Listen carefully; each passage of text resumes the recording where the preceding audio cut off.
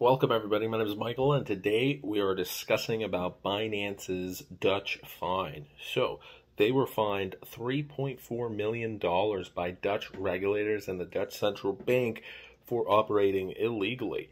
Uh, this is interesting because when we take a look at different articles by Reuters about the Netherlands Central Bank, it looks like they're pretty tough on crypto exchanges and crypto regulations, but not as tough on money launderers.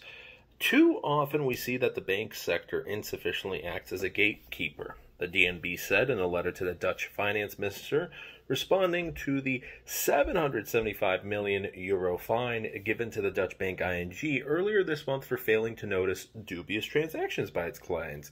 Several Dutch banks insufficiently monitor clients and their transactions, enabling them to use accounts for money laundering and other criminal activities, the Dutch central bank, the DNB, stated.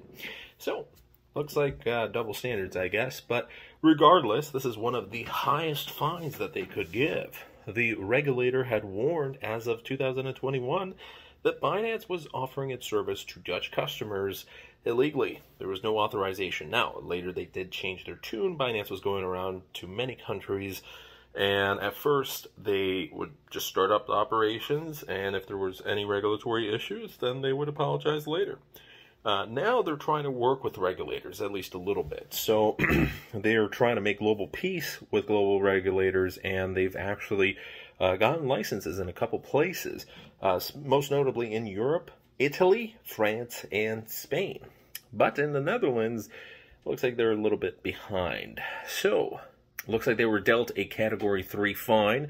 This is the most stringent of the Dutch National Bank's three levels of enforcement. The charge came in at the upper limit of the 2 million euros to 4 million euros maximum the bank can impose due to the gravity and degree of culpability of the non-compliance. So the breach took over a prolonged period from May 21st, 2020 until at least December 1st, 2021, potentially more so, a year and a half, actually even more than a year and a half. Uh, this is why the Dutch National Bank considers the non-compliance to be very grave. They were also taking a look at the size of Binance and a very substantial customer base in the Netherlands. Uh, currently, they're doing spot volumes of over 15.5 billion daily. Daily. That's a huge amount of money. And there's plenty of countries where Binance might be one of the only big players in there. And right now, it is one of the biggest cryptocurrency exchanges out there. So they're not going away anytime soon. And there was a lot of comments that were stating, hey, you know, this is just like a bank. They're making billions of dollars and a $3 million fine. This is a drop in the bucket for them. They won't care. There were some people who were concerned about potentially losing their right to operate legally in the Netherlands, although they're now working to try and regain trust with the Dutch National Bank and they want to um, establish themselves legally under regulatory rule. And obviously, they're going to have to worry about taxes and whatnot. But they're going to be just fine. They're not going away anytime soon. And the $3 million, they don't care about this. This is just a little bit of a warning sign. But if that's the absolute maximum they can do, even banks during the 2008 recession, when they were fined hundreds of millions of dollars for them, it was just an operating cost. It wasn't a fine. It wasn't a warning. It was just a part of business. They knew, they knew going into it that this is just something they'd probably have to pay in the future. And Binance has been taking this approach for the past couple of years. Now, do we agree that regulators sometimes overstep and make it very difficult for crypto to go mainstream for silly reasons? Yes. However, in certain cases, regulation is absolutely necessary because it's going to take us from the Wild West days into institutional trust, where the institutional money flows in, and suddenly we're able to get to the next level. Now, what's interesting is supposedly, if they want to make sure that everything's fine with the Netherlands and their base, in order to sort everything out and become fully legal, they might have to share all users' data with the government, as Coinbase is doing right now with the US.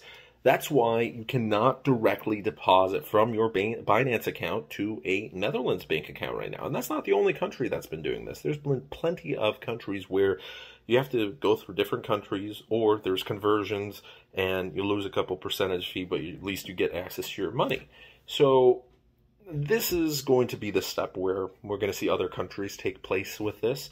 And right now, uh, tomorrow's video is actually about a platform that has a lot of Chinese control, and through this application, they're able to get into a lot of users' data, millions of people, and they have access to everything, including if you have on your phone any crypto wallets, any crypto information, they might have access to that. Um, so we are advancing as a society with our technology, but going forwards, there's going to be a lot of power that's given away. And the whole point of crypto back in 2008 was to take the power and give it back to the people. Um, now we're kind of going a different opposite direction. So mainstream is good in many aspects, but there are some downsides to it. And over-regulation, in this case, if this is true, this is what supposedly is supposed to happen, but I, I can see it definitely happening because it's already occurred with other crypto exchanges in other countries, not just Coinbase. This is a very important measure that may not impact us today, but maybe one year or five years down the line, it definitely will be something that we might get a knock at our door because we owe more taxes, or it might be something a little bit more nefarious than that. So you never know. Maybe all your crypto assets get seized. It's just something to think about. Uh, thanks so much for watching today's video. Nice, simple, short, and sweet. Have a great rest of your day. See you guys tomorrow. Bye.